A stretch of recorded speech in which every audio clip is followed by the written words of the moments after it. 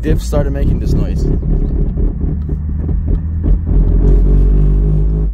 This is really loud. Sounds like my actual wheel like hitting the ground and stuff. Guys, I you, my diff makes a horrible noise before like two weeks ago started making this weird noise when I drift sounded like my wheel was hitting the ground so I thought my tires were kind of low on thread to a point that the inside of the wheel the barrel is closer to the ground and by a little bit of pressure and weight shifting it would hit the ground.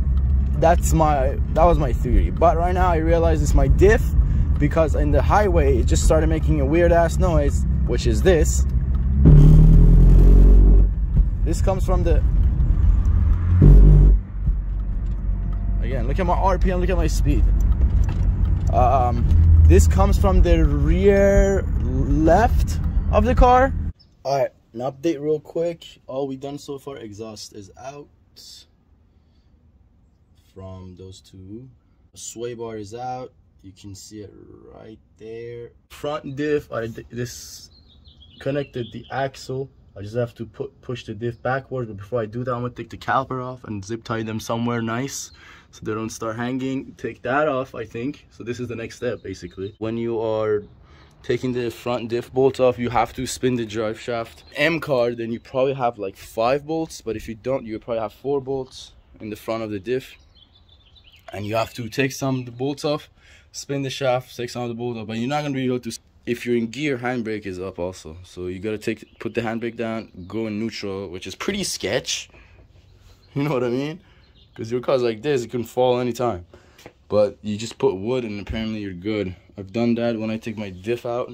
I've done that when I had my car up in second gear, sanding the lips. It's, no matter how many times I do this, every time I do it, I'll be sketched out. All right, let's get, go to the next level, which is taking everything before we take the full diff bolts out subframe bolts out and literally it's gonna drop. That push this over there just like that one that way we drop the um, trailing arm. It's not gonna like put tension on this or drop on this. Um, that's pretty much the last thing we need to do and then the, steal the handbrake cables. And then everything should be ready to drop. Oh the speed sensor too. Oh my god i keep forgetting. All right that's it. And then open this up. Use a screwdriver. And then take this out. Taking the bracket that's holding the cable for the handbrake which is this. Out all right pretty cool. We're done now, these four main bolts, and then this hose should drop. But I'm gonna put the jack underneath here before I start messing around with those bolts. Uh, maybe I'll crack him loose first, break him loose. What else do we need to do? I think that's, oh, the, the trailing arm, I forgot. All right, let me take the trailing arm off. Right there, uh, right there, yep. So this is in your tool trunk. I said this in my old video for the diff, but I forgot about it. My homie Aviel reminded me about wedging gear screwdriver. I was like, okay, I'm gonna use this. I remember now. So you wedge it in here. Can they can see it here? Can they see mm -hmm. it? Mm-hmm. Right. So and this gets locked for here on the left side for the right side, and then don't worry about this, but just use this to lock this. That way, this doesn't spin, so you can take it off. So I'm just gonna show you one lock it in here. It's not gonna spin. Put the ratchet in here. Make sure it's all the way seated because these bolts are bad unless you uh, convert it to the allen ones. And then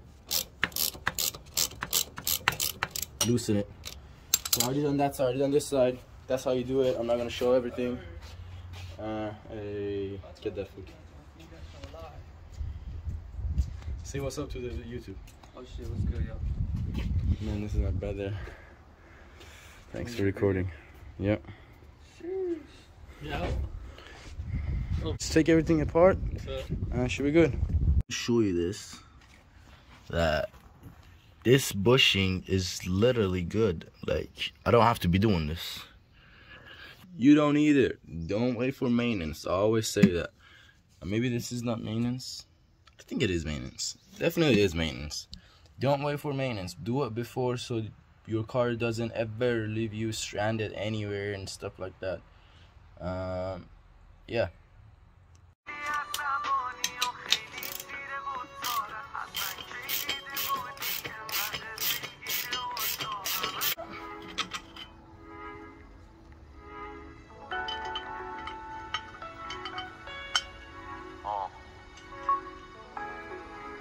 Took this apart of the the axles, the the whole knuckle, and the trailing arm. Maybe I should have went to the other yard. That's bigger, but I I don't know. The sun's hitting here. It's kind of nice. I'm gonna clean this up. This is what we got: water, soap. Where's the other soap? Dish soap. Got some brushes, and yeah, we're just gonna go to the town with this. I'm gonna take my time with this. I'm not in a rush. I'm just doing this because I think it's gonna be fun. Alright, let's get it done. Alright, so we prep. I cleaned these and then I'm just spray painting and touching up the bare metal areas or scratched areas. It got really scratched when I was trying to uh, hammer the bushings out with the help of our Aviel. Thank you again, Aviel. And also, I want to show you guys the bushings because they're finally. Are they over there? They're finally here. Oof. They're not. Kid Dom's dog. So fucking cute. Yeah, I just saw your brother pull up. Dude, this shit. Oh, I've been wanting to do it, but now it's like, like waiting for parts. It's just been so much. It's not just the work. That's the thing. it's just like, holy shit. Yeah.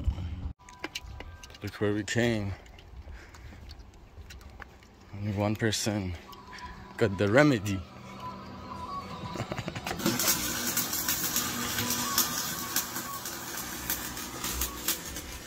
New wheels, okay, I like, I like. Got the Yada.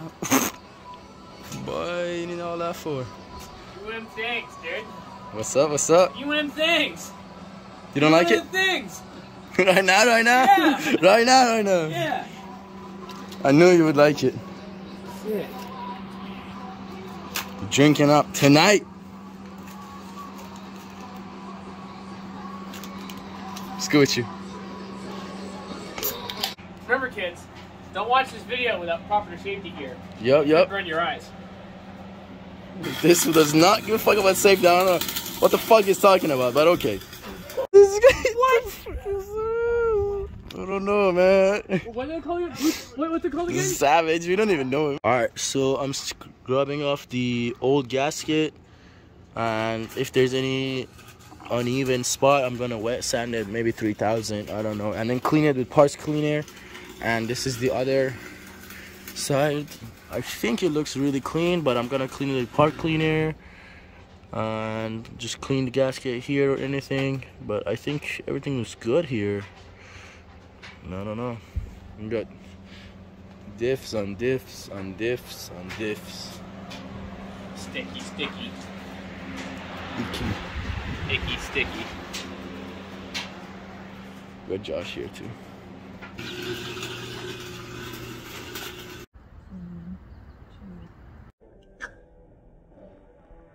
So what you do is just you cut a slit like this, and this is for your pro tip.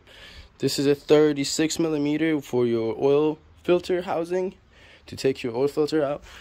This fits perfectly right here, and you just pop, hit it, and it comes out. I'm gonna test my luck and put it on there and hit that, see if that's gonna come out. I don't think it will, but I'm gonna try it. And then if you're cutting, cut towards this side, but I did cut towards this side and I left a little bit too much. I don't think that's gonna be an issue. But this thing cut way easier than my front control arm, so I was like, what the hell? I did not expect it to cut that easy. So right there, I'm gonna hammer it in. If not, I'll press it in like this. You can also grease it a little bit, even though it says don't grease it or anise, don't use anise, but just grease it a little bit. I'm using DW, WD-40 just because it goes away soon. And also, fuck. And also, the clap works, or you can put it in the fridge and have it like frozen, so it kind of decompresses or compresses in, like it's smaller. So you can do both of those. I'm just gonna do this off the camera and show you guys. That took like five seconds. So you just push it, maybe hammer it, hold it, hold the bottom of it, hammer a little bit so it goes in, then stand on it and fucking full send it. You can't hammer it a little bit. You have to hammer it full send in the middle. So it goes in. That's pretty cool. Looks really nice. I'm pumped for that. Now let's move to subframe bushings. We gotta grease these one by one. Or, I don't know, however you want. Alright, so the R-tab bushings are in they did i feel like i wasted too much lube on that so make sure you lube everything inside here here maybe outside too. They said literally lube everywhere. So i just lube the inside and outside a little bit. You put this one in over here you clean the area you put this one in over here you clean that area as well. This is also lubed up you push it in boom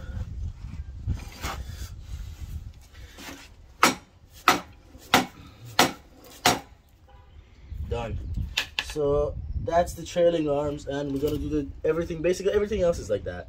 So you got a metal sleeve that goes inside of it and you put it in like that. Yeah just make sure you clean everything and lube everything basically. Comes with lube. If it doesn't just use i guess some sort of grease.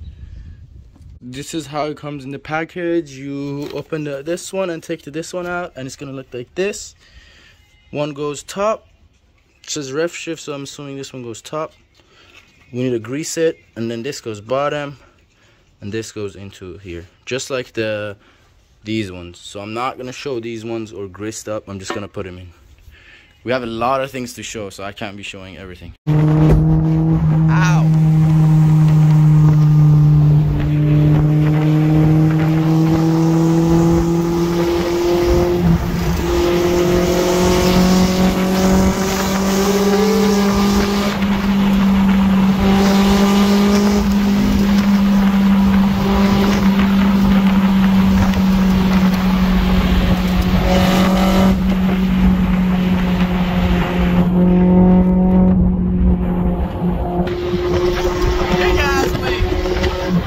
Second recap. I broke my phone and I prepped everything and everything's good. I primed everything and he's welding it. Let's go.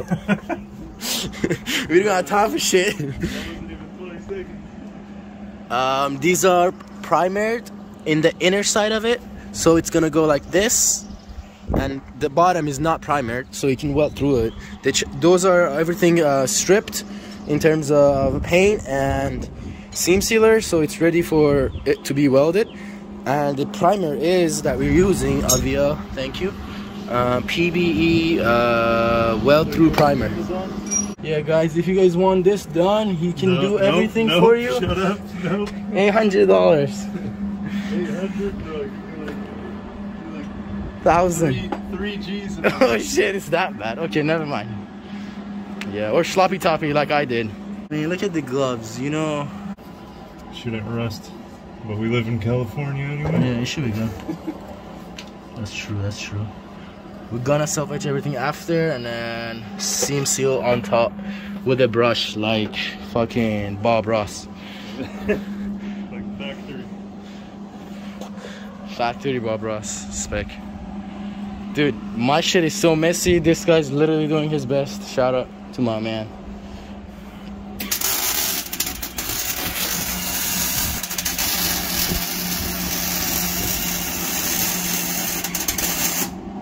Send it.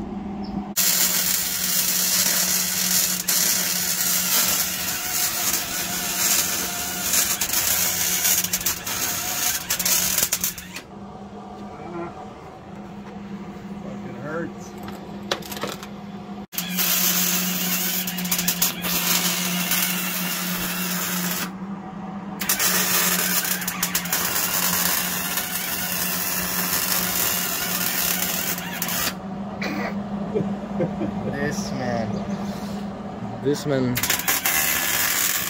doing everything. Get you a friend who, do, who does this shit. Who does this shit for you? I skipped class. Damn, son. Damn, son, where'd you find that? This shit looking proper. I need to grind shit up. It's upside down. Everything's harder. But look at those. Those right there. Ooh. It's alright. Yeah, it's a pain in the ass because it's upside down. Yeah, and I didn't jack it up enough. So it's just like really fighting everything. But those are sauce right there. And it's hard to see what the fuck you're doing. Exactly. There's shit falling on my neck. It's tough out here. But he's getting it done. Shout out to him. We're fighting for, I mean, not me, but he's fighting for his life right now. so, yeah. It's going. This is the only one. Almost done. Last one to go. I'm so hyped. I'm so hyped. This is pretty much the only thing. And then I need headers and do the tune that I already have with the pink top injectors. And I think my car is gonna be where I want it to be. And then we just gotta tackle the shifter. The Bushing Z3 shifter and that's it. My car's done. It's never done, but whatever. I, I prepped everything. It looks so nice. A lot of grinding. Sorry. A lot of grinding. You, we don't need everything flat, but I just made this stuff flat that is on the way. And then when you grind that, just test fit it so you don't grind too much of this. Test fit these guys on there, on there, on there. And then this one, this one. Aviel killed it, bro. Thank you so much, Aviel, if you're watching. Oh look at that. Look at that shit. We got my boy Ramiel here with his E36. He got the blast pipe going on. Looks good though, it's just enough. Add some character to the car, you know? But the paint's so clean on this car. Hella dirty right now. Yeah, right now it's like hella sap. But it looks so clean. Someone hit him and ran. So fucked up. This car was flawless all around. But it's not that bad. It's just the hood, the bumper. Could worse, Yeah, it could be worse, definitely. Like, it really devalued the car. I know, definitely. Especially in the front too. That's the first thing you see. But it's not that obvious. was This makes it the most obvious. Before, because of this, you know? This little ripple here. Oh. So this was like the clean side. That's the side I would take Bro, it's from. so hard to find E36. At least all the lines match up. Everything's straight, you know? Hell yeah. And this, though, That happened on your ownership No. too? Okay. came with it. I don't know how that They, happened. they sell this section. Yeah. so yeah, we just cut it. Just cut weld? cut it from this line right Oh, here. But it's gonna be fiberglass. I don't care. So you can just do That's cool. rivets. That's cool. But this car looks cool. I love the color, especially in the. That shit looks just so cool. You need jiggy colors with these old cars, or just like cool colors. Yeah, really, really Color, in my opinion, Yeah. like a big deal. I mean, I looked for this color for a long time. yeah. I know someone who went to Canada to find one of these. No way. Does that 328 rare? IS. This color, yeah, specific. I don't know. Yeah, It's just black. rare. But yeah, this. We're done. So I'm just gonna primer it and then seam seal it. And I just went with this primer just because. This is basically what- the only thing I found. If you have time, I would go with SEM. That's what my seam sealer is going to be. But yeah, we're just done. I've gotten these ones from Fastenal M14 by 80, 10 and 10.9 grade. So it's more durable than the OEM ones because the OEM ones are 8.8 grade. So something like this is actually 8.8 grade. It says it on there too.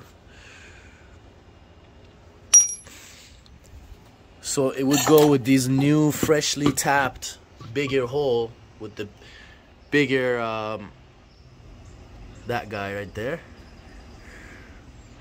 But unfortunately, he gave me the wrong one. I asked him. I said it's 10.5, right? Sorry, 1.5, right? And the 1.5 is the thread pitch. But when I look up the part number, because right here doesn't say the thread pitch, he gave me the right thread pitch, 1.5, but it was 100. I said I need 80. But when I look at the part number, it's a 2.0 thread, thread. So it's a, I guess, bigger thread. I need a smaller thread. So you want thread into that, but we can hold off of that, no problem. I still have to do the other bushing, which doesn't take that long, but still. So I have to go back tomorrow, but I went to Fastenal. This is four bucks. They gave you two in case one breaks. Not a bad deal. Four bucks for those. Hella zinc coated and everything. The OEM one that I bought was like 10 bucks. For real? Yeah. From these are better, thicker and everything, but I mean they're not BMW. Yeah, so I'm just gonna primer everything and then get to the seam sealing. Alright, sorry, uh, my phone been dying and shit, and I haven't edited any videos, so it's getting full. I have like 13 minutes left. I'm shooting in like 8K, but I put the subframe in. I took the top of the, the cup for the spring basically off there. Same for this side. So I'm putting that diff or I don't the order doesn't matter I guess then I'm putting this then the diff or whatever just because the drive shaft matching up is is ass I'm the only person I only have one jack so when you do it the front goes up the back comes down with these on and these are pretty heavy unless you can just jack like all of them up at the same time. I couldn't do it with one jack, one person. And I thought this would be faster and easier. Easier to do a part by part, that's all I'm trying to say. But right now, wires, cable all the way, feed it, and then see what happens. All right, everything's torqued to spec. I will put the torque specs. But when you have the extension you have to add an, uh, an amount to the actual number. So all we need is the diff. Everything's good. Be careful with the orientation of these lines. So i'll show you. Handbrake line goes up on top brake line on the bottom axle on top of all of them. As you can see so make sure you put that brake caliper up before you start um, i guess before you start start installing like everything else. And those all towed out so my toe adjustment hopefully won't get fucked. These are here for the heat shield and now just just everything zip tied away everything wiring's all good. I triple checked everything. I think we should be fine but i am planning on coming back to this probably next week and double check every bolt everything make sure everything's good um what time is it it's eight holy shit uh fluid in put the diff in. Probably gonna take me 30 minutes. I don't want to jinx myself. Please let it go smooth and then cap back on and then we chilling.